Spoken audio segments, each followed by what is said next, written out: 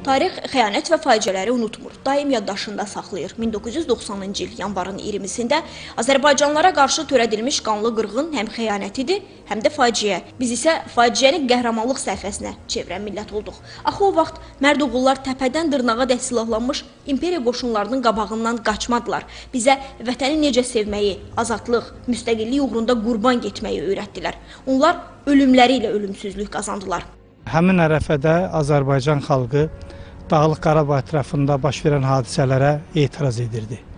Və bu fonda da xalq hərəkəti başladı. Özdə bu kiminsə iradəsi ilə yox, sadə xalqın, insanların qəlbindən gələn hayqırtı idi. Xalq etiraz edirdi.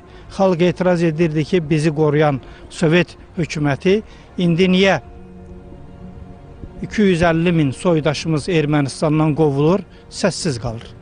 Niyə Dağlıq Qarabağda yaşayan Azərbaycanlı əhali öz yurdundan didərgin salınır?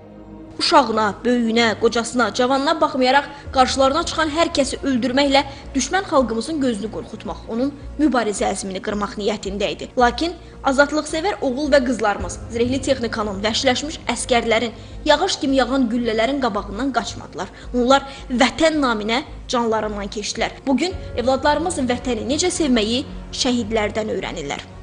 Bu bizə ə, imkan verdi ki, bundan sonrakı dövrlərdə Azərbaycan xalqına qarşı olan, Azərbaycanın ərazisinə qarşı olan işğallarla barışmasın və bunun nəticəsi idi ki, Vətən müharibəsi zamanı əskərlərimiz ə, nəinki əskərlərimiz, bütün xalqımız dəmir yumruq kimi birləşdi və Azərbaycan torpaqlarını düşmənin əsarətindən xilas elədi. Əlbəttə ki, burada ə, Cənab Ali Baş Komandanın rəhbərliyi və əzmi iradəsi xüsusi rol oynayırdı.